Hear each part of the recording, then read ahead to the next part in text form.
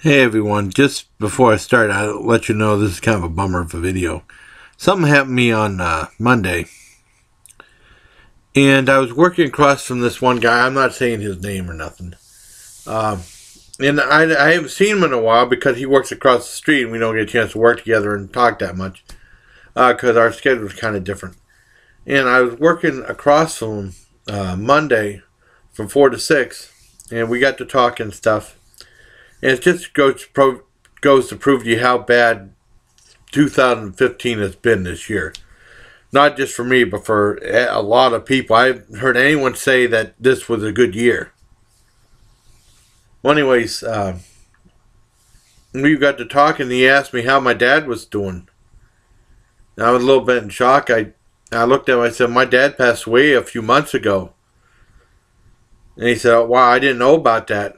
Yeah, I said I was gone, and they one guy was passing around a sympathy card with only like uh, 25% of the people at work signed. But that's, oh well.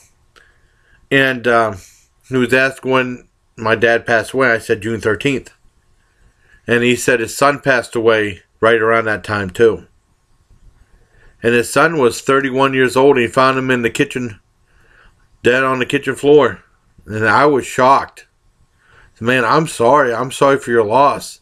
Because I know when I found my dad, I his room right there, and I went to check on him. I went to open it. I couldn't open the door, and he was he was he was down there like this, blocking the door, and I couldn't open it.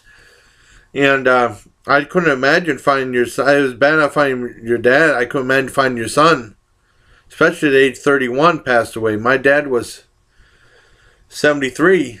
Uh, I couldn't imagine that. And it just goes to prove what a horrible, horrible year this was. I said, man, I'm sorry for your loss. I didn't know about it. He said, I'm sorry for your loss. I didn't know about your dad either. It's just a horrible thing to happen. A horrible coincidence at work, you know. 2015 has been a bad year. And other bad things have happened too. That I don't know. I'm kind of scared. We still got a like month and a half left of this year. A little more than a month and a half. I'm. I don't know. I'm scared. I'm scared of next year too. I don't know what's going to happen, but it's been a bad year. That was off. I was horrible hearing his son passed away. I couldn't believe it.